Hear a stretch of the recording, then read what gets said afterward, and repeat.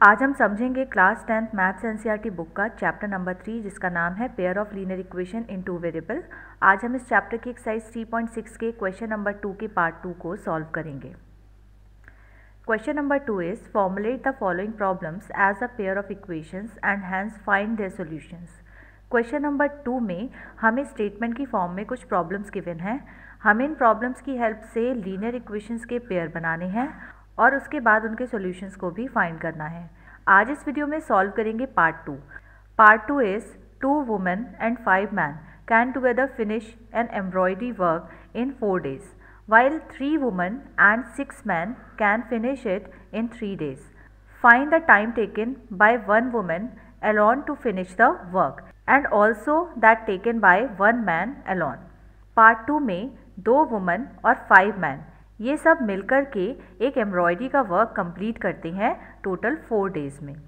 इसी तरह से अगर तीन वुमेन हैं और सिक्स मैन हैं, ये मिलके काम करते हैं तो ये टोटल जो वर्क है वो तीन दिन में फिनिश कर लेते हैं। हमें फाइंड करना है कि अगर केवल एक वुमन ही वर्क करती है तो उसे कितना टाइम लगेगा। इसी तरह से ओनली वन मैन अगर वर्क को कंप्लीट करता है तो उसको कितना टाइम लगेगा।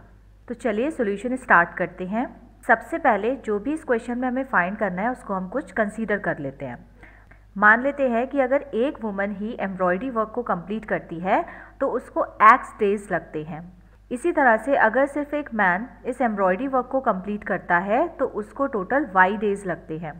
अब देखिए, हमने कंसीडर किया है कि एक वुमन को टोटल एक्स डेज़ लगते हैं एम्ब्रॉयडरी वर्क को कंप्लीट करने के लिए। तो हम ऐसा करते हैं कि एक वुमेन का एक दिन का काम हम निकालते हैं कि कितना होगा।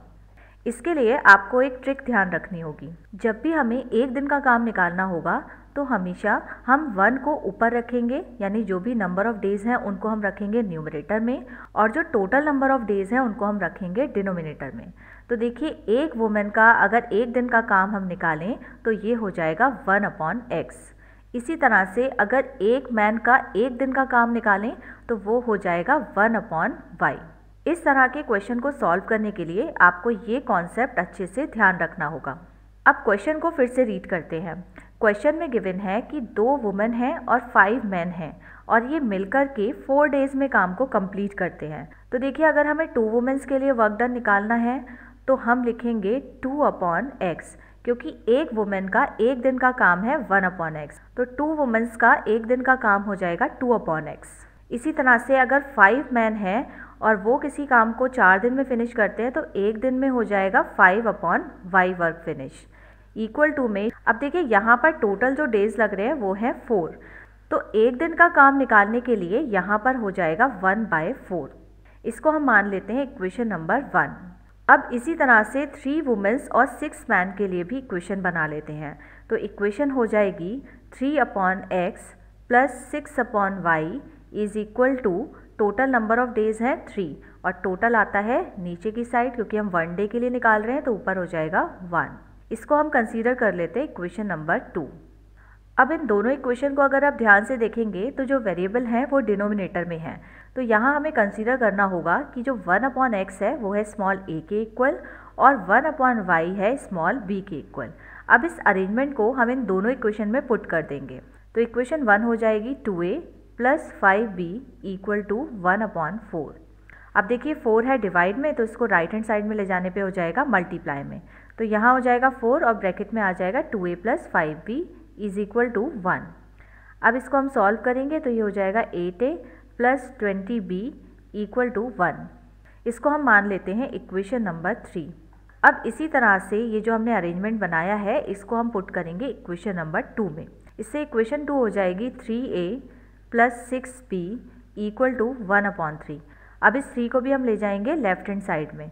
तो ये हो जाएगा थ्री ब्रैकेट में आएगा three A plus six B equal to one अब इस थ्री की हम अंदर मल्टीप्लाई करेंगे तो ये हो जाएगा nine A plus eighteen B equal to one इसको हम कंसीडर करते हैं इक्वेशन नंबर फोर अब equation number three and four को हम सॉल्व करेंगे एलिमिनेशन मेथड से।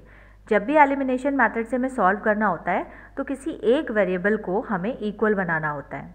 फॉर एग्ज़ाम्पल अगर हम ए वेरिएबल को इक्वल करेंगे तो इक्वेशन थ्री को हमें मल्टीप्लाई करना होगा नाइन से, क्योंकि इक्वेशन टू में यहाँ लिखा हुआ है नाइन और इक्वेशन फोर को हमें मल्टीप्लाई करना होगा एट से, क्योंकि देखिए यहाँ पर लिखा हुआ है एट तो अब हमें लिखना होगा multiply equation three by nine and equation four by eight तो सबसे पहले इक्वेशन थ्री को नाइन से मल्टीप्लाई करते हैं। इसके लिए इक्वेशन थ्री हमें फिर से लिखनी होगी।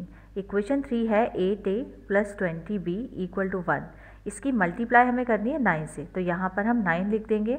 अब नाइन से मल्टीप्लाई करने पर हमें मिलेगा seventy two A plus one eighty B equal to में नाइन इसको हम मान देते हैं इक्वेशन नंबर फाइव अब इसी तरह से इक्वेशन नंबर फोर की मल्टीप्लाई हम करेंगे एट से। तो इक्वेशन फोर हम फिर से लिखेंगे। इक्वेशन फोर है nine A plus eighteen B equal to में वन इसकी मल्टीप्लाई हमें करनी है एट से। तो यहाँ पर हम एट लिख देंगे।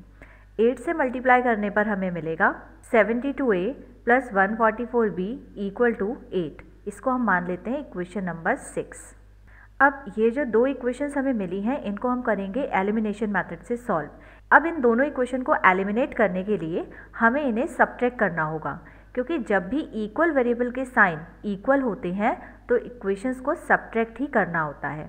आप देख सकते हैं कि ये जो 72a है, ये प्लस का है, और यहाँ पर जो 72a है, ये भी प्लस का है. तो जब भी साइन सेम होंगे, हम इक्वेशंस को सब्ट्रैक्ट ही करेंगे. तो हमें लिखना होगा subtracting equation five and six अब इक्वेशन फाइव एंड सिक्स को हम फिर से लिखते हैं।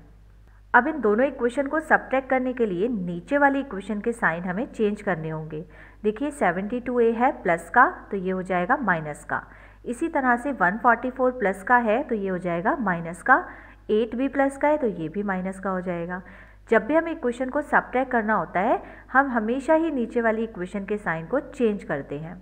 तो देखिए 72a से 72a कैंसिल हो जाएगा क्योंकि ये प्लस का है और ये माइनस का है। 180 में से 144 को माइनस करने पे मिलेगा 36 तो ये हो जाएगा 36 बी। नाइन और एट को माइनस करने पे मिलेगा वन तो इससे बी की वैल्यू आ जाएगी वन डिवाइड में 36 अब बी की इस वैल्यू से हम फाइंड करेंगे स्मॉल ए की वैल्यू इसके लिए हम इक्वेशन नंबर थ्री का यूज़ करते हैं।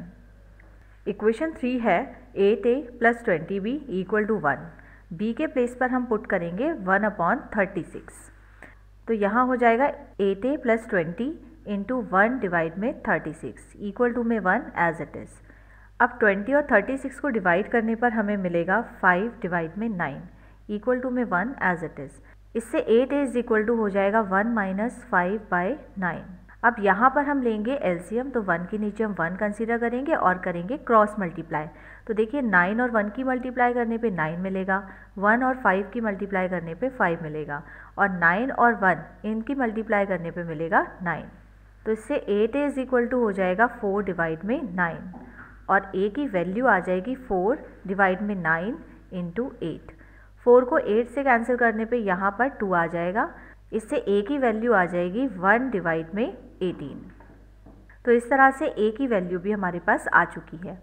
अब क्योंकि स्टार्टिंग में हमने कंसिडर किया था कि वन अपॉन एक्स जो है, वो है स्मॉल ए के इक्वल और स्मॉल ए की वैल्यू हमने फाइंड की है वन बाय एटीन तो इससे वन अपॉन एक्स इक्वल हो जाएगा वन बाय एटीन के। अब इस एक्स की मल्टीप्लाई हम करेंगे वन से और एटीन की मल्टीप्लाई करेंगे इस वाले वन से।